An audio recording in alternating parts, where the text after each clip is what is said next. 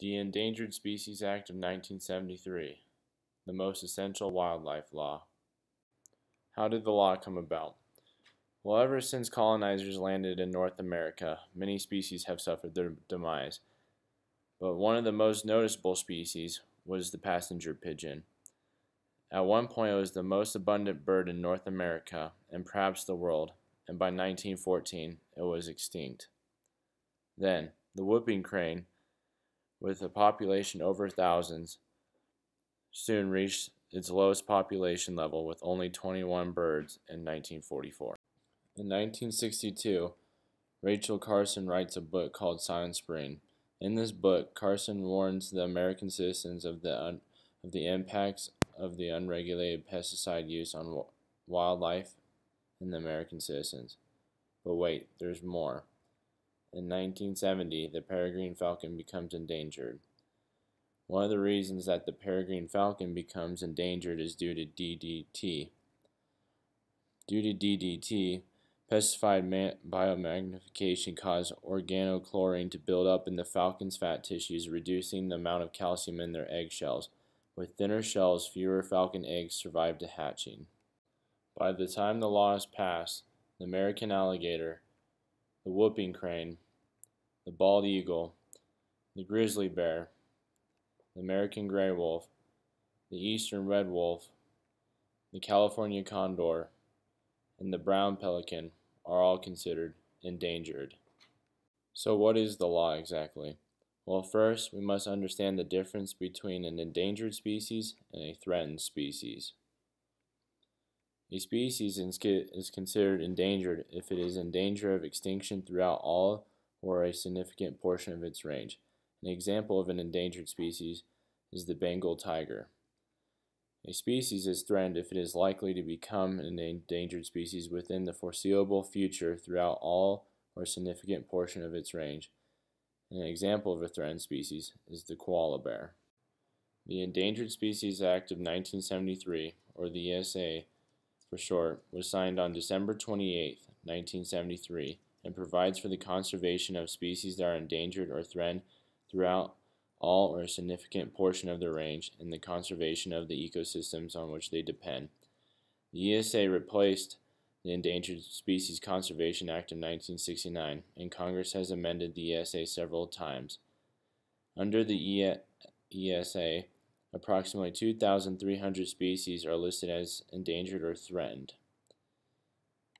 And one of the most significant quotes to come out of this law is by Richard Nixon.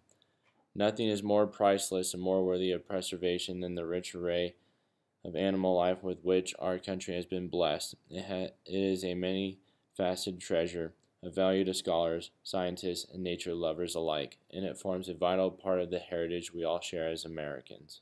With areas like the Arctic Wildlife Refuge, some think that the ESA hinders economic development and provides federal agencies with more control than state agencies.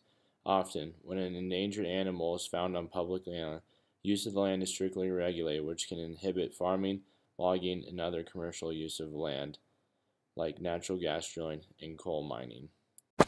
Hello, I'm Lindsay with Fox News, and today we are interviewing a hunter.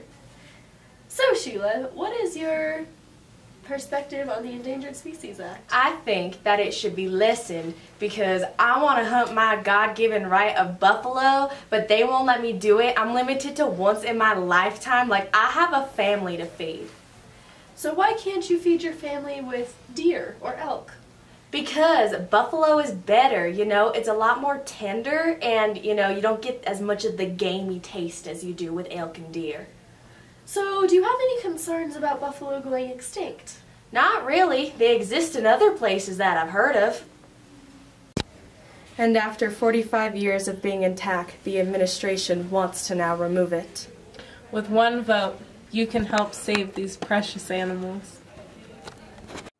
so why is this law important? Well, let me tell you. From 1973 to 2013, the Act prevented the extinction of 99% of the species under its protection.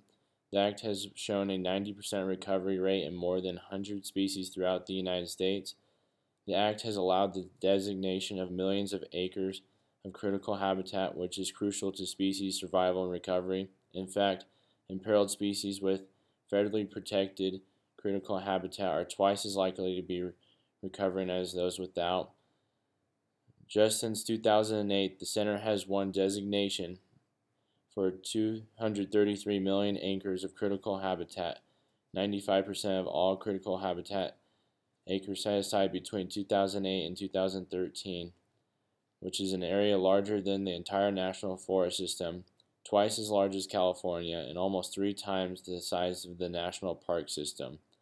And finally, the Act has poll proven strong public support. A national poll commissioned by the Center in 2013 found that two out of three Americans want the Endangered Species Act strengthened or left alone but not weakened.